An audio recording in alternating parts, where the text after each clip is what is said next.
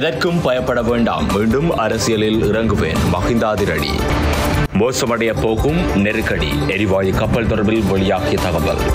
கல்வி அமைச்சு எடுத்துள்ள அதிரடி தீர்மானம். வெளியானது புதிய அறிவிப்பு. கோட்டாபய இணங்கினால் அனுரகுமாரவிடம் பிரதமர் பதவியை ஒப்படைக்க தயார். நாடாளுமன்றத்தில் ரணில். முழுமையாக தள்ளுபடி செய்யப்படும் கடன். வழங்கப்பட்டது அமைச்சரவை அனுமதி.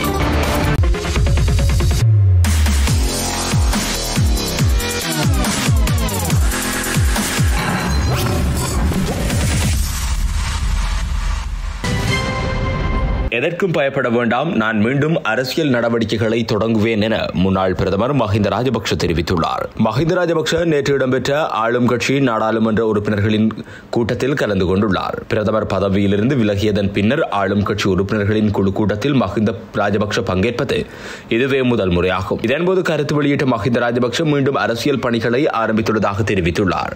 அரசு தலைவர் கோட்டாபாய் ராஜபக்ஷவின் தலைமையில் பிரதமர் ரணில் விக்ரமசிங்கவின் பங்குபற்றத்துடன் இந்த கூட்டம் நடைபெற்றது. ஏற்கனவே ஸ்ரீலங்கா அரசியல் பரப்பில் தற்பொழுது அடுத்த பிரதமர் தொடர்பில் பல்வேறுபட்ட இழுபறு நிலைகள் தொடர்கிற நிலையில் மீண்டும் மஹிந்த ராஜபக்ஷ பிரதமராவதற்கான வாய்ப்புகள் இருப்பதாக தென்னிலங்கை ஊடகங்கள் சுட்டிக்காட்டுகின்றன.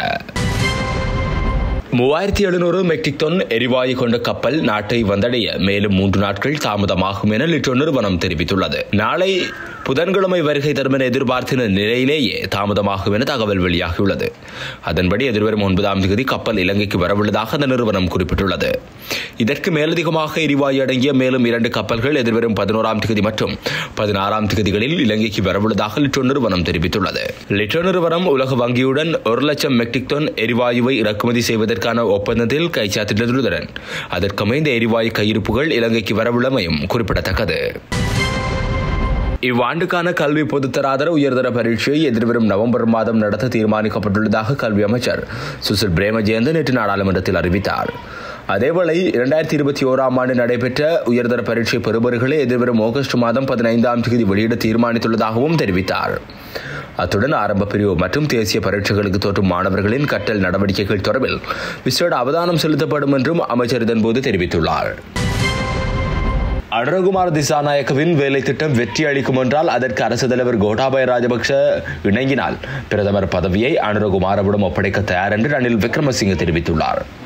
இன்று நாடாளுமன்ற அமர்வில் கலந்து கொண்டு உரையாற்றும் போதே இவ்வாறு தெரிவித்துள்ளார்.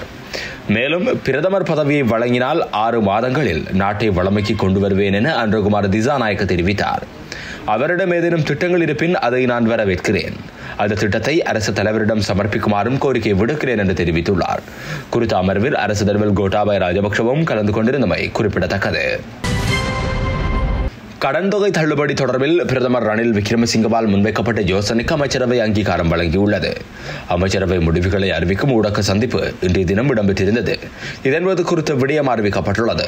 உயிர்த்த ஞாயிறு தாக்குதல் பின்னர் உயிர்த்த ஞாயிறு தாக்குதல் பின்னர் ஏற்பட்ட கோவிட் நைன்டீன் பெருந்தொற்று நிலைமையால் நாட்டில் ஏற்பட்டுள்ள பொருளாதார நெருக்கடிகள் மேலும் மோசமடைந்து வருவதுடன் பொதுவாக அனைத்து துறைகள் மீதும் நேரடியானதும் மறைமுகமானதும் தாக்கத்தை ஏற்படுத்திய வண்ணம் உள்ளது.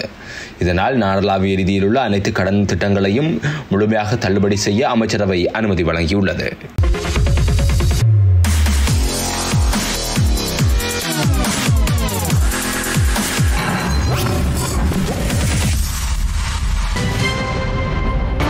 எதற்கும் பயப்பட வேண்டாம். மீண்டும் அரசியலில் இறங்குவேன். மஹிந்தாதிரடி மோசமடைய போகும் நெருக்கடி. எரிவாயு கப்பல் தொடர்பில் வெளியாகிய தகவல்.